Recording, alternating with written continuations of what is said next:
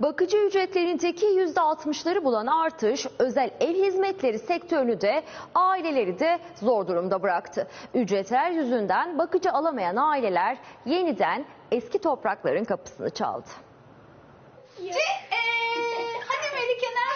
Tabii çalışan anne için zor. Çocuğumun bakıcısı yok. Tek başıma ben bakıyorum. Bakıcı ücretleri hızla yükseldi, anne babalar geleneksel yönteme yöneldi. Son dönemde çocuklar bakıcılara değil yine anneannelere, babaannelere emanet. Geri geliyor dedeleri bakıyor. Evde e, kendim yetiştirmek istediğim için ihtiyaç duymadım. Çalışma hayatım olsa da anneanne babaanneyle artık idare edeceğiz. Ya annem, kayınvalidem bakıyordu zaten. O ihtiyacımız olmadı. Ocak ayıyla kıyaslandığında bakıcı ücretlerinde %60'lık artış gerçekleşti. Son dönemde yabancı bakıcıların çalışma izninde sorun çıkmasıyla da bakıcı krizi patladı. Babaannesi çalışmadığı için e, onunla daha güvenli kalabileceğini düşündüğüm için onunla birlikte şu anda. Fiyat artışı aileleri zorladığı gibi bakıcı bulmakta imkansıza yaklaştı. Türkiye'de çalışan yabancı bakıcıların 6 ay önce %30'unun çalışma izni bulunmazken bu oran şimdi %60'ı buldu. Babanın babalık izni, annenin annelik izni olsa da çocuk en azından 2 yaşına gelene kadar